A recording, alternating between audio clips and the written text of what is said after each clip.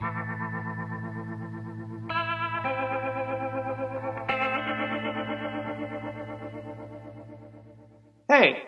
what are you doing here? I'm here to add a little perspective.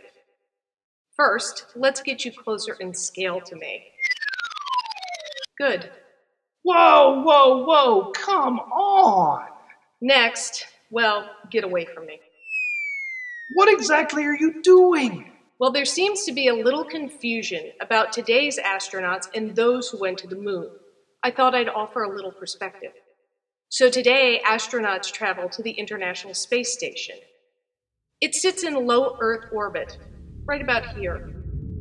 Today, astronauts have to travel about 250 miles from the Earth to get to the International Space Station. Fascinating. Can we get to the moon part, please? I'm getting there. Hold your green cheese. To get to the moon, however, astronauts had to travel about 240,000 miles away from the Earth. And they took a very specific path from the Earth to the moon where they landed. Ow! That's my eye! Once there, they set up experiments, took lots of photo and video, and picked up some rocks to bring back. While two astronauts were on the moon, a third one was in the command module orbiting around the moon. Like a little fly. Can we get these astronauts off of me? They're, uh, they're walking all over my face. When the other two had finished on the surface, they launched into orbit and hooked up with the command module, which brought them all back to Earth. Nice. Can we make me normal head size now? I suppose. Okay, so other than the moon being a really long way away, what have we learned since the Apollo moon program? At least 30 minutes worth of stuff. This, is STEM in 30. Wait a minute. I don't have any hands to point at the camera. It's probably for the best.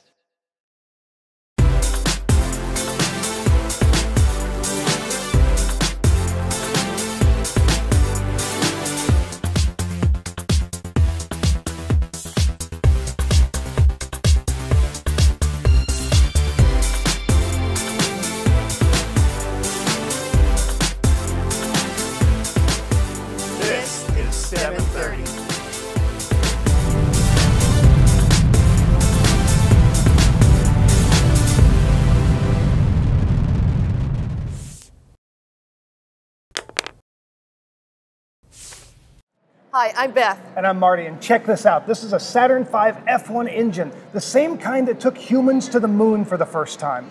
Now, we are coming to you live from the National Air and Space Museum, and today we will be in our newest gallery, A New Moon Rises, which shows us views of the Lunar Reconnaissance Orbital Camera.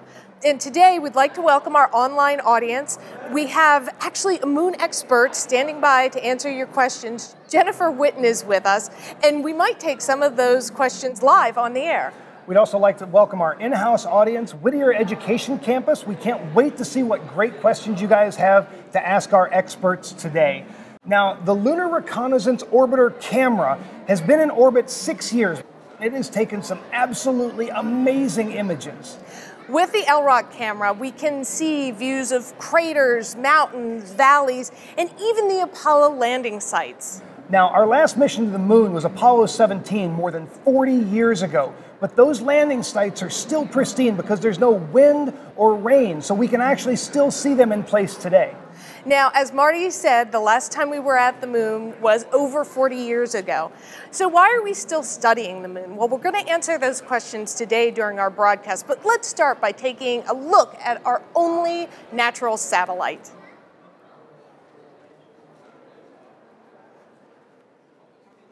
The regular daily and monthly rhythms of Earth's only natural satellite, the Moon, have guided timekeepers for thousands of years.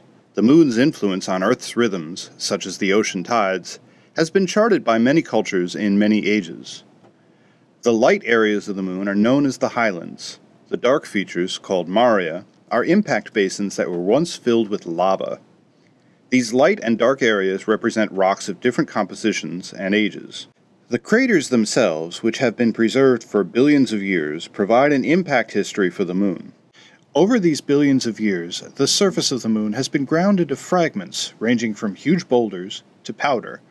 Today, the entire moon is covered by gray powdery dust and rocky debris. Upon first seeing this landscape, astronaut Buzz Aldrin proclaimed, Beautiful, beautiful. Magnificent. It was once thought that the arid, lifeless moon had not changed very much geologically for a billion years.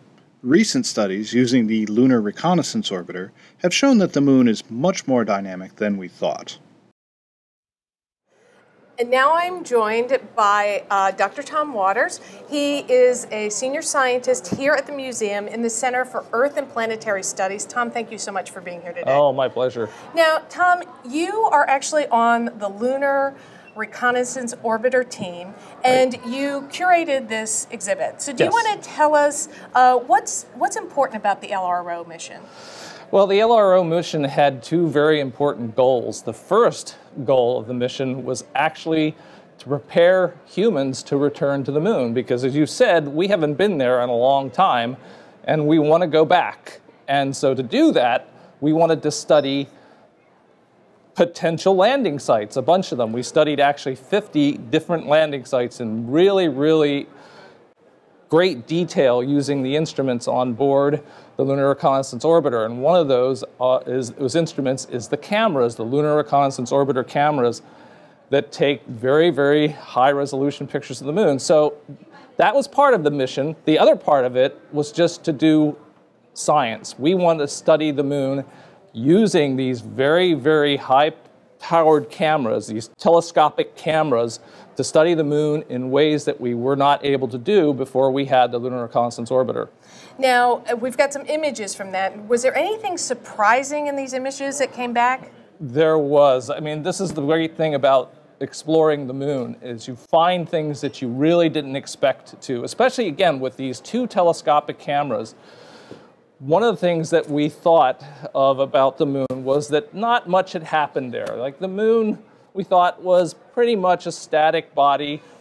Again, not much had happened for maybe a billion years. And then we started looking at these images and we started to see features that we hadn't seen before.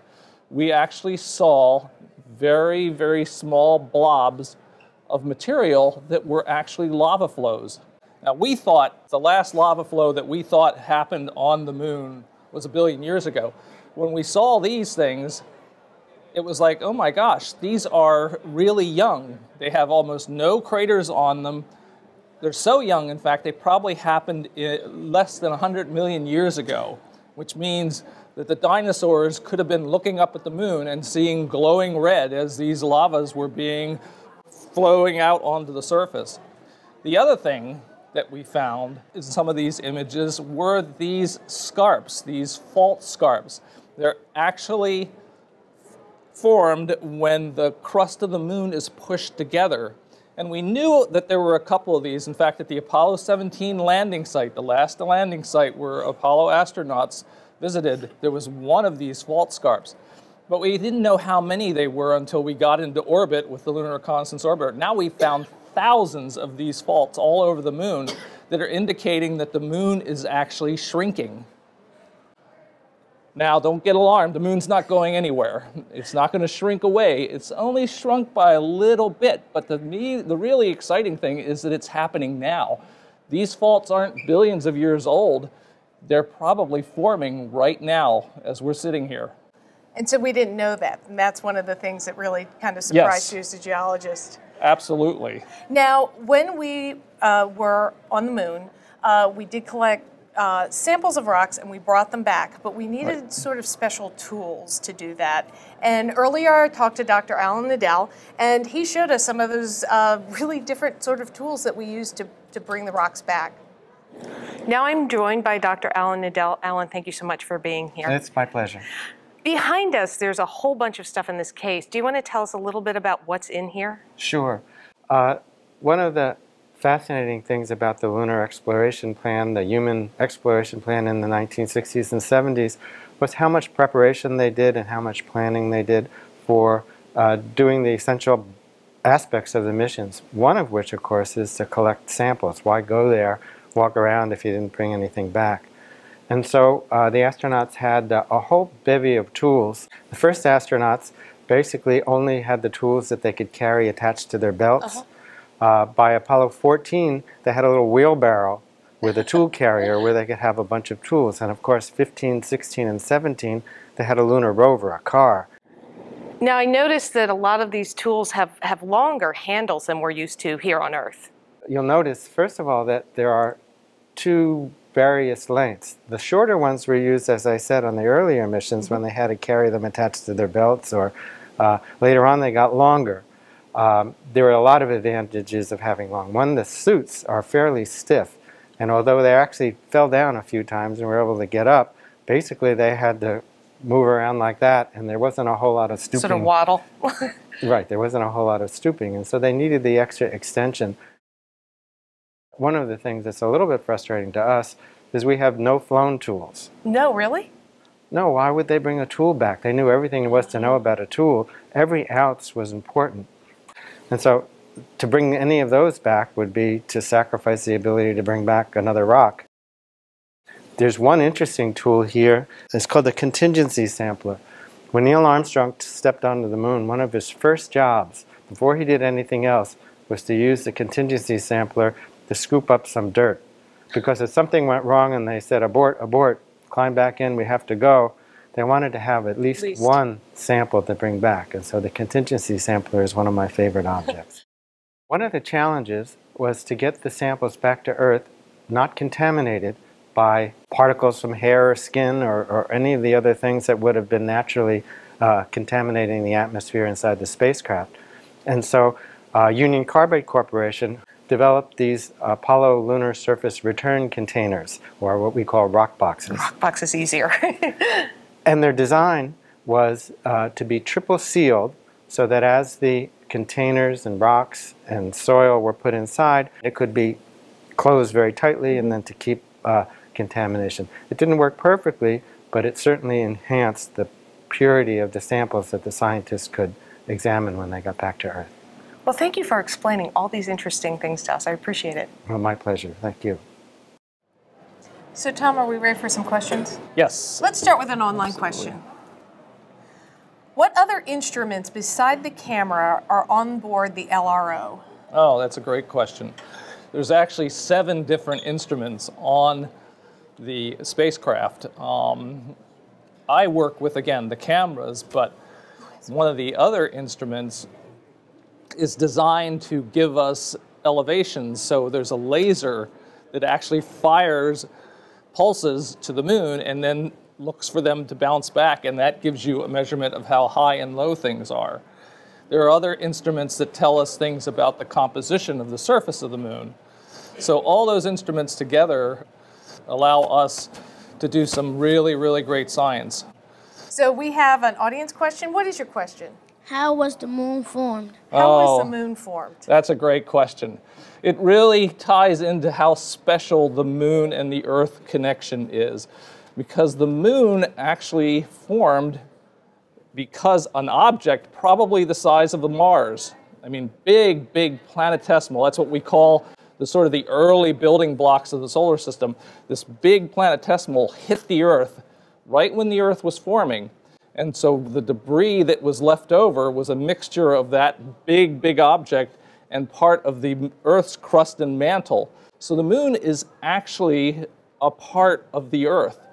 When it all started to form together and cooled down, that came together to form our moon. Let's take an online question. Does the moon contain water? Uh, it's a great question. The moon actually is a pretty dry place. Um, there's no atmosphere, so there's no real way for water to actually exist on the surface of the moon. And there's probably not much water in the interior of the moon, but there is possibly water in one place or some places on the moon, and that's at the poles where craters never get any sunlight. There are literally places on the moon where the sun never reaches. They get really, really cold. They're so cold that if a comet were to come by the moon, and we think this probably happened, and comets shed water, that water gets trapped in these really cold, permanently shadowed craters, And there may be accumulations of water ice in those craters. We don't know how much. It might be a little, it might be more than a little, but that's one of the really interesting questions we're trying to figure out. Okay, and we have an audience question. What's your question? Uh, can the moon sustain life? Can the moon sustain life? Can the moon sustain life? It's a great question. Uh, the biggest problem the moon has in sustaining life is that it has no atmosphere. So it's literally, there's nothing there. So there's no air to breathe of any form or any kind. So if you're going to live on the moon, you pretty much have to build a place. You have to build a place that can you can bring the oxygen that you need to breathe and you have to kind of protect it. You have to put it somewhere where it's not going to get hit by very small or even larger meteors because the moon has no protection the way the earth does. The earth's atmosphere protects us from a lot of small and even some fairly big objects, but the moon doesn't have that. So you want to be careful about how you build it, but yes, you'd have to build the place to live on the moon. Thank you very much. Marty got a chance to go to his former school, South Valley Middle School in Liberty, Missouri, and he brought them a special treat. I am here at South Valley Middle School in Liberty, Missouri, and I got to tell you, I'm really excited about this. This is my former school where I used to teach, and I actually graduated from Liberty High School a long, long time ago. Now, some of you guys were actually in my class. Raise your hand if you used to be in my class. Awesome. Well, today we're going to be making impact craters just like on the moon. You guys are going to have marbles. You're going to hold them up above this simulated lunar surface that has flour below it and a thin layer of cocoa on the top. We're going to drop the marbles in to see what happens when a crater is formed on the moon. That's pretty cool, huh? You guys ready to do this? Yeah. Let's go.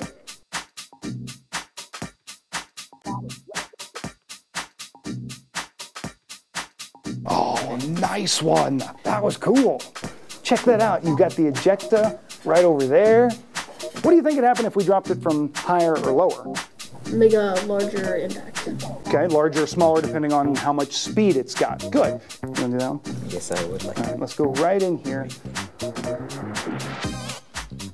Oh, now wait a minute. Look at something here. Do you guys see the white there? Did you notice that that came out of the crater? Yeah. When that hits with enough force, it actually takes what's underneath and throws it out on top. And we can see that, and it's called ejecta. And what's cool about that is when the astronauts went to the moon, they were able to find ejecta from craters and pick that up. And what was, that rock that they picked up that was considered ejecta was actually from inside the moon, not just the surface. So we could study the surface of the moon by picking up just any random rock, but if we picked one up that had come from inside a crater, we knew we had a rock from inside the moon. We're going to try something different now. I want you to drop another one. And this one I want you to drop right here. Can you do that? Yep. Okay, now we've got two craters. This one kind of got messed up, didn't it?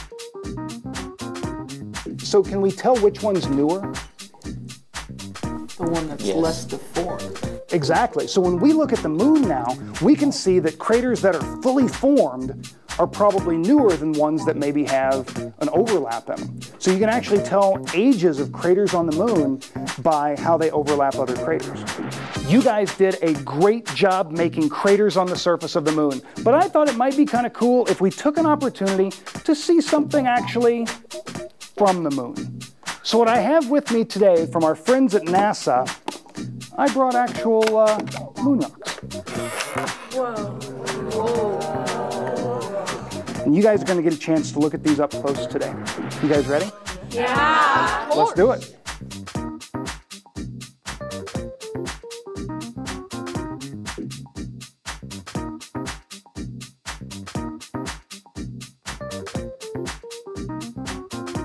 You guys got an opportunity to make craters on the surface of the moon and see what we can learn by actually looking at the moon. And then you guys got an opportunity to actually hold some moon rocks. Was that pretty cool? Yeah. You guys did crater than I ever thought you would. Nice work. We're now joined by Pris Strain, the curator for the moon rocks we have on display here in the museum. Thank you so much for talking with us today. Oh, I'm happy to be here. And we're standing here in front of images of the Apollo landing sites where the astronauts actually were able to pick up the rocks and bring them back. Can you tell us about the rocks that we have on display here? Oh, yes. We have a, a rock from Apollo 15 that was collected by astronaut Dave Scott, and it's 3.3 billion years old. Then we also have uh, ancient rock from the lunar highlands, and it's 4.36 billion years old. Moon rocks are really old. We also have two samples from Apollo 17, which were collected by the astronauts Jack Schmitt and Gene Cernan. We have a rock, and we also have a sample of lunar soil. Outstanding. So visitors to the museum can actually come here and see those. That's right. All right, now, guys, on the video that we watched, those students got a chance to actually hold moon rocks. That was pretty cool, wasn't it? Yes. All right, well, I've got a surprise for you. Officer, could you come here, please? Thank you. All right, let's see what's in this case here. So, what I've brought in are actual moon rocks that you guys are going to get a chance to look at. Now, what I think is really cool about this lunar sample disk is that this disk holds uh, samples from four different manned missions to the moon Apollos 14, 15, 16, and 17. So, in this disk, it represents four times that man went to the moon. And I'm going to give you guys a chance to actually look at these. So, I'm going to hand that to you, and you guys can take the, the magnifying glasses and check that out. Now, Prish, you were telling me earlier that this sample actually tells the story of the moon. How is that? Oh, well, the lunar rocks are very, very old. So it's a way of looking back through time and learning about the earliest history of the moon. And the first one that we're going to talk about is anorthosite. What does that tell us? That's right. An anorthosite is a, um, a light colored rock that's made up almost entirely of just one mineral, which has a kind of funny name. It's called plagioclase feldspar, and that's a common rock forming mineral on the Earth. And the, uh, the anorthosites are uh, uh, found very much in the ancient lunar highlands. And so that tells us about the development of the early lunar crust. Okay, and then uh, and actually it's light colored. So when we go out and look up at the moon at night and we see that it's got light areas and dark areas, those light areas we're actually seeing anorthosite, just like these guys are holding right now. That's right. That's really cool. Now there's also a couple other kinds of rocks in there that help tell that story. Another rock we have is called a breccia, and that's an Italian word, and it means a rock that's made up of irregularly shaped fragments of other rocks. And on the moon, breccias are just smashed up, beat up rocks that uh, were little pieces of other rocks are all smashed together. And that tells us about the violent early history of the moon uh, when it was bombarded by meteors and asteroids and maybe comets. And you see all the craters on the moon, you can see that that, that was a, a very heavy bombardment of the surface. And we can read that in the rock. Very violent, it sounds like. Mm-hmm. And how about the third one? The third one is called a basalt. And that's a dark colored um, igneous rock, and igneous means that it uh, formed from melted material that uh, cooled and hardened. And uh, the basalts form the very flat lowland plains on the moon. And an interesting thing about lunar basalts is that lunar basalts have more titanium than Earth basalts. Oh, wow. Now, teachers, if you think this is pretty cool, you can actually become Lunar Rock certified to check out this lunar sample disk, and NASA will send it to you. And the best part is, it's free to use in your classroom. Now, visitors that come to the museum have an opportunity to do something that I think is incredibly cool. They can actually touch a moon rock. Tell us about that. Yes, the touch rock that we have at the museum was collected on Apollo 17, and it's a, it's a basalt. And when you look at it, maybe it looks kind of plain to you, but when you think about it, it's a really amazing rock. It's 3.8 billion years old, and it was exposed on the surface of the moon about 100 million to 125 million years ago, probably by a crater impact. And it sat there waiting until 1972 when astronaut Jack Schmitt, who was the only professional geologist who was an astronaut who went to the moon, he picked it up and brought it back to Earth. And then in 1976, it found a home here in the museum, so you can come and touch a piece of another world. That's so cool that visitors can come touch a piece of another world. Now, when Neil Armstrong took the first steps on the surface of the moon, he was wearing a spacesuit, and that spacesuit is currently in conservation out at the Steven F. Udvar Hazy Center. And I had a chance to talk to one of the conservators about how they're dealing with the moon dust still on that suit. Check this out. I'm joined by Lisa Young, a conservator here at the National Air and Space Museum, and we are in the conservation lab at the Steven F. Udvar Hazy Center. In front of us is Neil Armstrong's spacesuit that he wore when he took the first step on the moon. Now, this suit's still covered in moon dust, right? Yep. What can you tell us about that moon dust? Uh, the moon dust is mostly on the bottom half of the suit. You can see it where it's discolored to a little bit darker gray. And the moon dust is made of grains of soil or minerals that are very sharp and angular. There's no atmosphere on the moon, so the grains and particles of sand don't get worn down. And they cut into the suit fabrics and have embedded themselves between the fibers of the textile. And it's not just one type of grain of moon dust, right? Right. Scientists have identified six different types of grains, and um, you can see them under the microscope pretty clearly. And we can see them here on the surface of the suit. And so when you're conserving this suit to eventually go back on public display and to keep it for generations to come, you have to think about that moon dust in your work, don't you? Right. There's not, we don't really want to clean off the moon dust. It doesn't come off easily, but there is other types of dust that have gotten onto the suit. So we use special techniques to make sure that the moon dust will remain on the fabric and that we get off unwanted dust from uh, storage and display. Awesome. Well, thank you so much for talking to us today. Sure. I'm back with Tom and Pris. Now, we've taken a look at a lot of different things today about the moon. Why do we still study it? Well, it, the moon is very special. I mean, it's our closest neighbor in the solar system.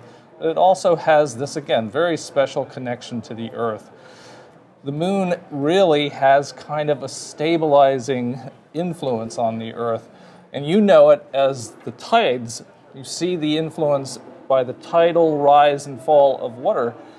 Actually, the Earth does the same thing to the moon. In fact, it's doing it now. Instead of raising tides on the moon, it raises kind of a solid body tide, not a water tide, because there's no water on the moon. But that's actually influencing how the moon is developing with these young faults that we were talking about that are still forming. The Earth is actually influencing how those faults form.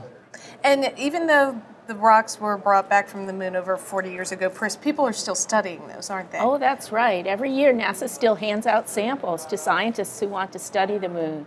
And we're still learning new things about the composition of the rock. And that's because a lot of it, technology just keeps getting better. That's right. Okay, so let's take a couple more questions. We have an online question first. How are moon rocks and Mars rocks similar or different? Well, moon rocks formed uh, in an environment that had little or no water, uh, as we talked about before. Uh, on Mars, there's evidence that there was lots of water yes. at one time. So on the moon, uh, we don't have a whole class of rocks that you find on Mars and the Earth, which are the sedimentary rocks, which are rocks that form uh, by depositing in water. Okay, so uh, we have an audience question. What's your question? Why is the moon black and white? Why is the moon black and white? Oh, well, when we look at the moon and we see the, the white areas are the highland areas, and it's because they're made up of white rocks and light colored rocks, like the anorthosite that we talked about before. And the dark colored areas are made up of dark rocks, like the basalt that we talked about before. So there aren't any trees or oceans. We're just looking at no, just rocks. Looking, looking at rocks. Pretty old ones too. Okay, so let's go to an online question. Uh, have we found any new materials that are present on the moon? Well, we did find some um, uh, new minerals on the moon. Uh, and we found that they were minerals that were formed at high pressures.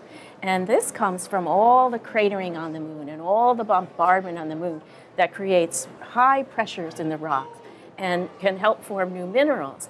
Um, they found a new mineral. It was called armalcolite, which was named after Armstrong, Aldrin, and Collins, the Apollo 11 astronauts, which we hadn't known of before, but later found at an impact crater on the Earth. Um, there was also a, a, mineral called tranquillityite, and one with a really strange name, uh, Pyroxferroite. Well, I want to thank you two both for being here today. That's all the time we have. I also want to thank the International Titanium Association. And this is our last show uh, of the school season. We'll pick up again in September. We've got some really exciting topics. Let's give you a little look.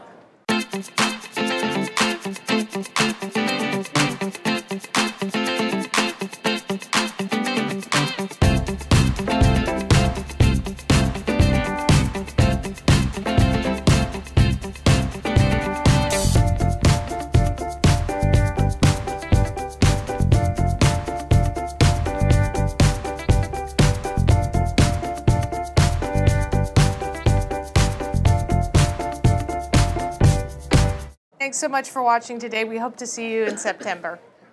That was really.